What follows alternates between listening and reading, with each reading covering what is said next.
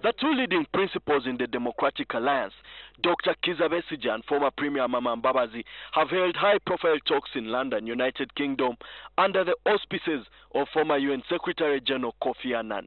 TDA as many uh, prophets of doom uh, continued to, to talk about. Uh, is, is not dead.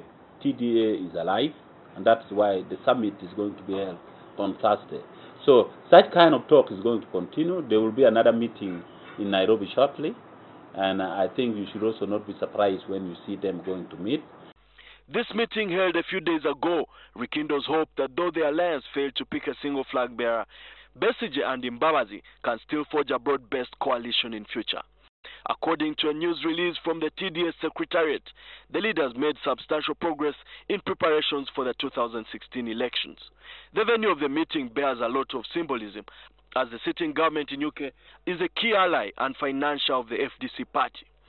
Highly placed sources reveal that during negotiations to elect a single flag bearer within TDA, UK Premier David Cameron gave impetus to the talks and his opinion on sticky issues was respected.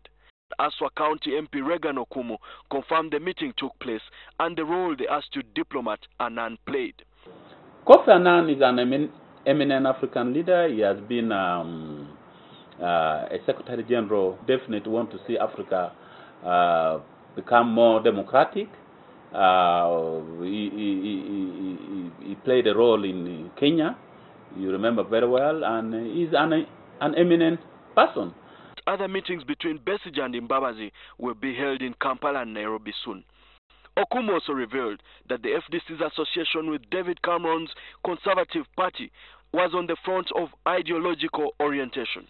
And uh, we would expect uh, the Prime Minister of Britain, uh, who comes from the party we cooperate with, uh, to pursue the interests of Uganda to see that stability is there because the Conservative Party's interest, and I want to assure people and let people know that their major interest in Africa today is to democratize Africa. As the opposition continues to hold meetings with key actors in foreign capitals, it's not clear yet whether the West is ready to abandon President Museveni, viewed as the anchorman in a volatile Great Lakes.